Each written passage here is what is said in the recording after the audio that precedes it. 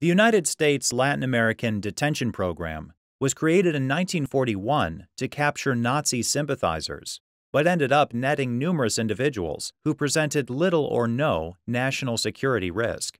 One of these was the wealthy businessman at the heart of the Nottebohm case. Friedrich Nottebohm was born in Hamburg, Germany, in 1881.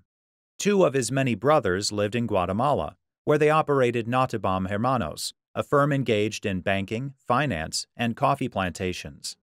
Nottebohm joined them in 1905 and spent the next three decades working and living in Guatemala. In 1937, he became head of the family firm. Nottebohm was ineligible for Guatemalan citizenship because he'd been born in Germany. In 1939, Nottebohm traveled to Liechtenstein and applied to become a naturalized citizen. Nottebohm requested a waiver of Liechtenstein's three-year residency requirement and paid the necessary fees and taxes.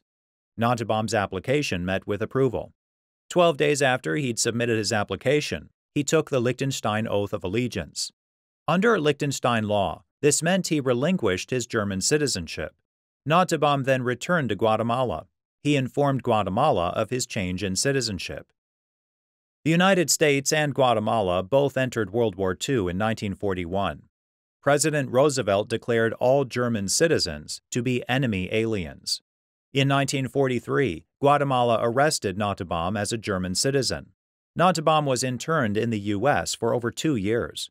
The U.S. and Guatemala seized a large amount of Nottebohm's property and his company's assets. When Nottebohm was released in 1946, Guatemala refused to let him return. Nottebohm moved to Liechtenstein. In 1951, Liechtenstein sued Guatemala before the International Court of Justice, arguing that Guatemala had wrongfully refused to recognize its grant of citizenship. Guatemala countered that it didn't have to recognize Nottebohm's Liechtenstein naturalization and that he remained a German citizen under international law.